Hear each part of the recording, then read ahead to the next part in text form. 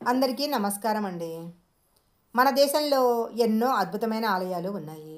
కొన్ని ఆలయాలలో రహస్యాలు ఇప్పటికీ అంతు చిక్కకుండా మిస్టరీగానే ఉండిపోయినాయి.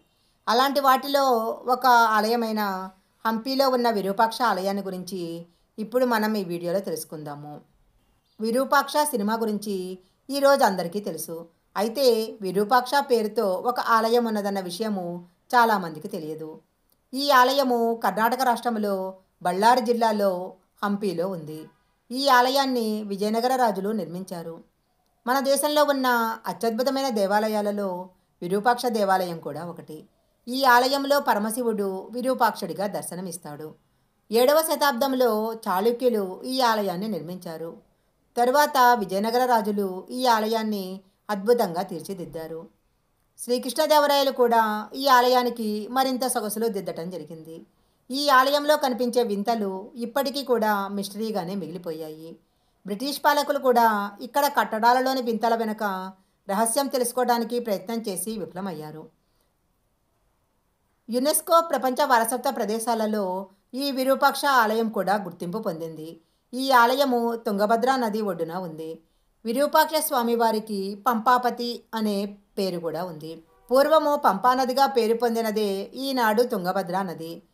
ఈ ఆలయంలో త్రికాల పూజలు జరుగుతూ ఉంటాయి. కర్ణాటకలో ఉన్న అత్యంత ముఖ్యమైన ఆలయాలలో విరూపాక్ష ఆలయం కూడా ఒకటి. ఇక్కడ తొమ్మిది పది శతాబ్దాలకు చెందిన శాసనాలు ఉన్నాయి. ఒక మంటపంలోనికి ఎక్కే మెట్ల పక్కన ఒక శిలాశాసనము పురాతన తెలుగులో రెండు వైపులా చెక్కి ఉంది. విరూపాక్ష ఆలయ రాజగోపురము పదకొండు అంతస్తులుగా నిర్మించబడింది. ముఖమండపం పైన అద్భుతమైన పెయింటింగ్స్ ఉన్నాయి. ఈ ఆలయంలో స్వామి ఉగ్రరూపుడు. అందువల్ల ముఖమండపం నుంచి గర్భాలయానికి దారి లేదు. అద్భుతమైన నిర్మాణాలలో ఈ ఆలయం కూడా ఒకటి. ఈ దేవాలయానికి మూడు గోపురాలు ఉన్నాయి తూర్పు గోపురము నూట అరవై అడుగుల ఎత్తుతో తొమ్మిది అంతస్తులుగా నిర్మించబడింది. ఇది పదిహేనవ శతాబ్దం నాటిది. దీనిని పదహారవ శతాబ్దంలో శ్రీకృష్ణదేవరాయలు పునర్నిర్మించాడు. విరూపాక్ష ఆలయం లోపలి గోడ మీద ఆరు అంగుళాల సన్నటి చీలిక ఉంటుంది. గర్భగుడి నీడ ఆలయం వెనుకవైపు తలకిందులుగా పడుతుంది. సూర్యోదయం నుంచి ఉదయం తొమ్మిది గంటల వరకు ఈ నీడ కనిపిస్తుంది. గోపురం నీడ ఎత్తు పదిహేను అడుగులు ఉంటుంది. గోపురం ఎత్తు కూడా పదిహేను అడుగుల ఎత్తు ఉండటం చాలా గమనార్హము. ఇలా జరగటానికి విరూపాక్ష స్వామి యొక్క మహత్యమే కారణమని భక్తులు నమ్ముతుంటారు. నాటి వాస్తుశిల్పుల మేధస్సుకు ఇదొక తార్కాణము.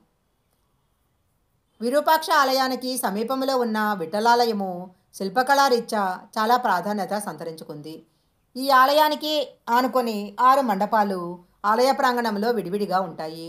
ఇక్కడ ఉన్న సంగీత స్తంభాల మండపంలో యాభై ఆరు స్తంభాలు ఉన్నాయి వీటిలోని ఏడు స్తంభాలను మీడితే సప్తస్వరాలు సరిగమలు వినిపించటము ఒక అద్భుతము. అందుకే ఈ స్తంభాలను సరిగమ స్తంభాలు అంటారు. ఆ కాలంలో ఇలా రాయిలో సప్తస్వరాలు వచ్చేలా ఎలాంటి టెక్నాలజీ వాడారు అనేది ఇప్పటికి కూడా ఎవరికీ అంతుపట్టని విషయము. ఈ సంగీత స్తంభాల వెనుక రహస్యాన్ని తెలుసుకోవాలని ఎంతోమంది ప్రయత్నించారు. అయితే ఆ రహస్యాన్ని మాత్రం ఇప్పటికీ తెలుసుకోలేకపోయినారు. ఈ ఆలయంలో ఉన్న ఇంకొక విశేషం ఏంటంటే ఉగాది సమయంలో వచ్చే పాడ్యమి రోజు సూర్యకిరణాలు గర్భగుడిలో ఉన్న శివలింగం మీద పడతాయి. ఈ క్షేత్రంలో అందరినీ ఆశ్చర్యపరిచే మరొక వింత ప్రపంచంలో ఏ శివాలయంలో లేని విధంగా ఇక్కడ మూడు తలల కలిగిన నంది విగ్రహం దర్శనమిస్తుంది. ఏ శివాలయంలో అయినా నందికి ఒక తల ఉండటం మనం చూస్తుంటాము. ఇక్కడ ప్రధానాలయానికి ఉత్తర దిశలో ఉన్న రెండు ఉపాలయాలలో పరమశివుని సతీమణులైన పంపాదేవి భువనేశ్వరి ఆలయము బయట మనకు మూడు తలల నంది కనిపిస్తుంది. హంపి గ్రామము విజయనగర శిల్పకళకు మంచి ఉదాహరణ. రాజభవనాలు జల నిర్మాణాలు పురాతన మార్కెట్ వీధులు బలమైన గోడలు రాజమంటపాలు స్తంభాలు చూసేవారిని ఎంతో ఆకట్టుకుంటాయి. విజయనగర సంస్కృతిలో లీనమైన ఆరాధ్య కళలు హస్తకళలు శాసనాలతో ఈ దేవాలయము వెలుగుతున్నది. అయితే ఈ నిర్మాణాలను ఆ సమయంలో అనేక మంది చొరబాటుదారులు ధ్వంసం చేశారు. డిసెంబర్ నెలలో ఈ ఆలయానికి భారీ సంఖ్యలో పర్యాటకులు వస్తూ ఉంటారు. ఈ వీడియో కనుక మీకు నచ్చినట్లయితే లైక్ చేయండి షేర్ చేయండి. ఇలాంటి మరిన్ని వీడియోల కోసం మా ఛానల్ సబ్స్క్రైబ్ చేసుకోండి.